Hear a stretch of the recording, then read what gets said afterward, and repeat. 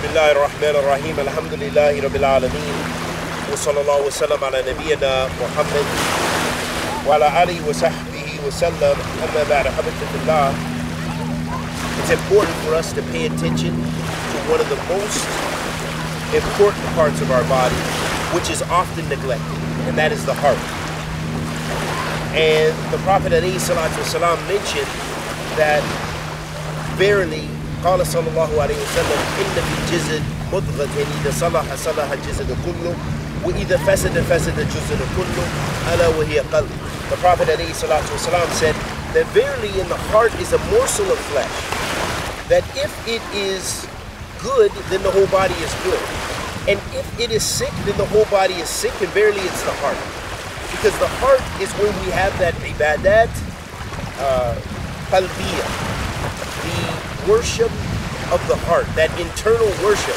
things like taqwa, things like khawf or raja, you know, by, by fearing Allah subhanahu wa ta'ala, and the hope for Allah subhanahu wa ta'ala's mercy, and the uh, comfort in the heart when doing ibadah. All of these are affairs of the heart. And these are affairs of the most importance, of the greatest importance. And so this is why the believer has to give, the believer, in fact, a characteristic of the believer is that they give more time to their heart than their physical. Listen to this hadith of the Prophet sallallahu alayhi wasallam. عن أبي هريرة رضي الله تعالى عنه قال قال رسول الله صلى الله عليه وسلم إن الله لا ينظر إلى أجسادكم ولا إلى صوركم ولكن ينظر إلى قلوبكم وأعمالكم رواه مسلم The Prophet والسلام, said, uh, it was reported on the authority of Abu Huraira anhu, that he said sallallahu alayhi wasallam, Verily Allah does not look at your bodies nor your appearance, but rather he looks at your hearts and your deeds. So this hadith of the Messenger of Allah sallallahu alayhi wasallam shows us the importance that the believer should give to their heart. And some of the ways that we can begin to sal- uh, to give salvation to our heart or to solve the crises that we experience in the heart and in our lives is by giving attention to the heart. And some of the ways in which we can do that is first by reading the Quran, reading the book of Allah subhanahu wa ta'ala, integrating the Quran in your life. Spending some time every day because you are in need of that. That is what you need for your spiritual growth. That is what you need to remember Allah subhanahu wa ta'ala. That is what you need to make the deen and actualize the deen as a reality in your life. And this comes through dhikr of Allah subhanahu wa ta'ala, and the best dhikr is by the Quran. Secondly, another way in which we can revive our hearts from being dead is that by dhikr uh, mutlaq, making dhikr in general, saying subhanallah, alhamdulillah, Allahu akbar, reminding ourselves and reminding others, and having your tongue moist with dhikr by remembering Allah subhanahu wa ta'ala often. And why did the Salaf say moist, having your tongue moist with dhikr? Because the dhikr is not in, just internally, but rather it's on the tongue that it shows us the importance of actually moving your tongue in your mouth when you are making remembrance of Allah subhanahu wa ta'ala. Subhanallah, alhamdulillah, Allahu Akbar, uh, La ilaha illallah, La ilaha illa ant, subhanaka inni kuntu min al Making as much dhikr of, uh, uh, of Allah subhanahu wa ta'ala in order to revive yourself spiritually.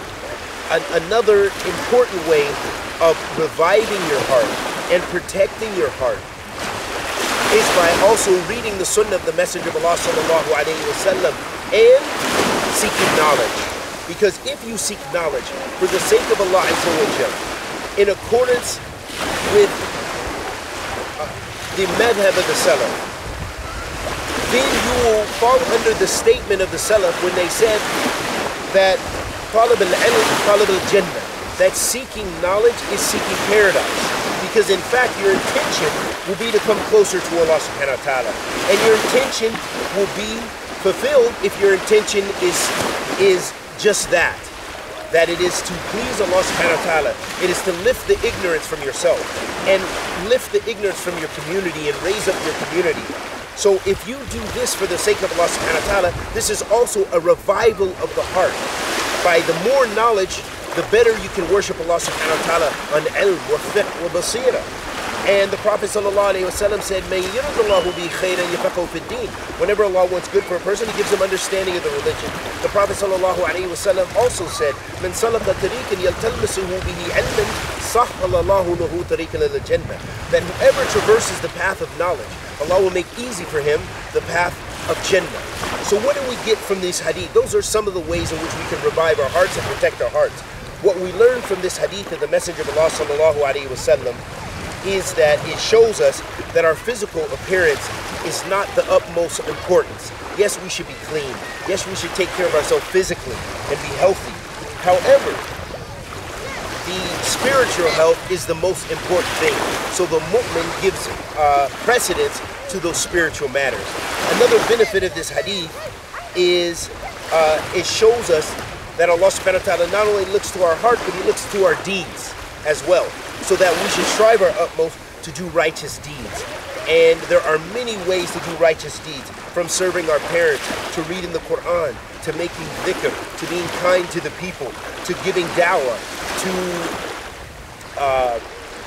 saying a kind word, to moving a harm from the road, to uh, making hajj or umrah, to praying extra, to fasting extra, to doing all the acts of ibadah. Those all under, fall under deeds. And Iman in Islam is comprised of three things, ahabatifillah. The first thing is it's comprised of your uh, your actions of the heart, like your iman, your belief. And secondly, it's comprised of the actions of your limbs, and that comes to the good deeds that you're doing to please Allah subhanahu wa ta'ala that we were just talking about, that Allah Azza wa looks to. And the third uh, aspect of Iman is the statement of the tongue. So that can be dhikr, that can be saying a good word, that can be pronouncing the shahada, and all of those uh, ibadat qawliya, those things which are on the tongue. So it shows us, ahabatifillah, that we must give precedence to our hearts and our deeds. And we ask Allah the Almighty to accept our good and forgive our evil. Wa sallallahu wa sallam ala nabiyyina Muhammad wa ala alihi wa sahbihi wa sallam.